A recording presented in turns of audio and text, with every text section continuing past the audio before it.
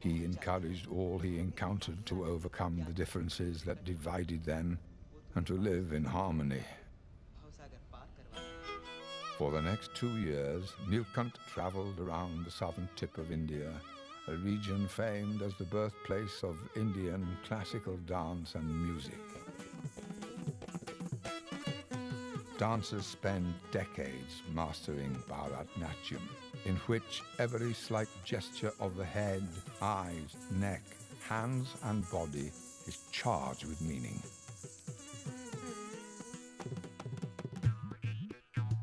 It is an art performed continuously for 2,000 years and honored in sculptures carved on the walls of ancient shrines.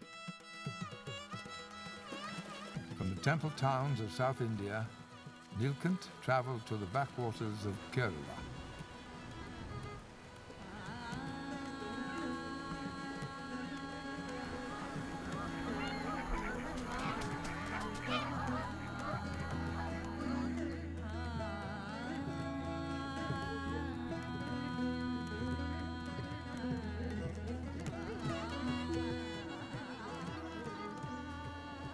Throughout his journey, Nilkant not only observed his country, but took every opportunity to serve his countrymen.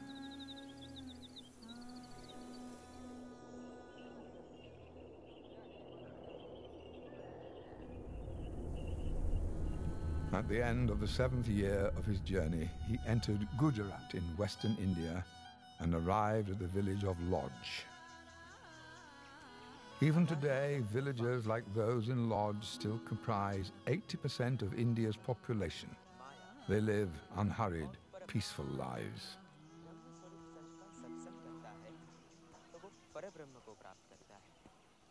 They recognize that this young yogi had insights beyond his 18 years and asked Nilkant to visit Swami Ramananda, the most revered guru of the region.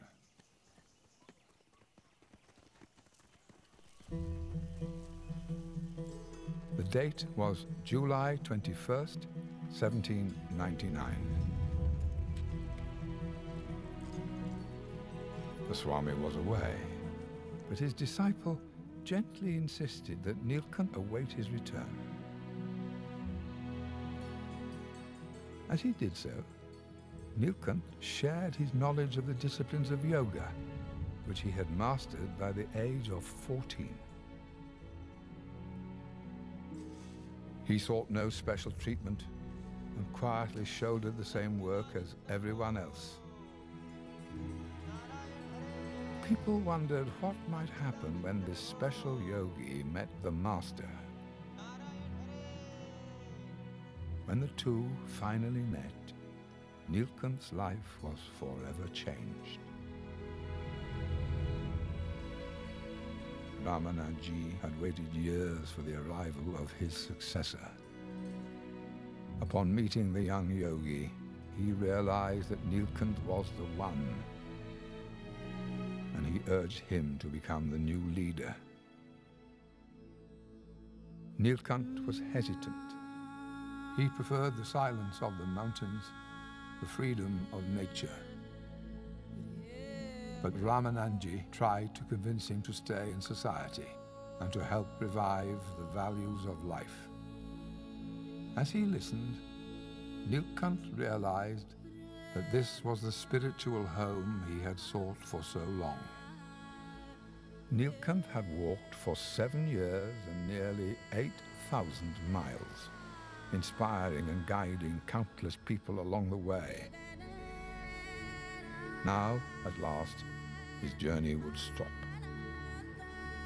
But the story of his epic journey and the lessons of his faith, friendship, and fearlessness would endure. More than 200 years later, his life is still a source of inspiration.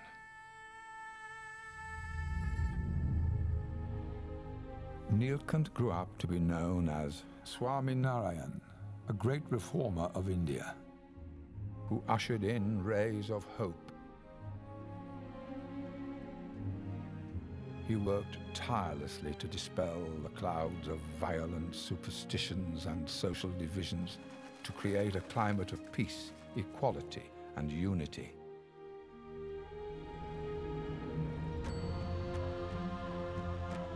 He helped revive the timeless mysticism of India, a land where the quest continues to understand the great secrets of life beyond our material world.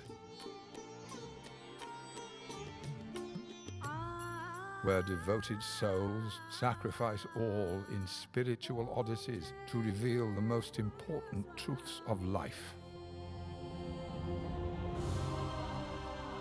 Perhaps the greatest truth India can illuminate for the billions who live on this planet is the cherished belief that there can be unity in diversity, that we share the same sky, walk the same earth, breathe the same air, that we are a single human family.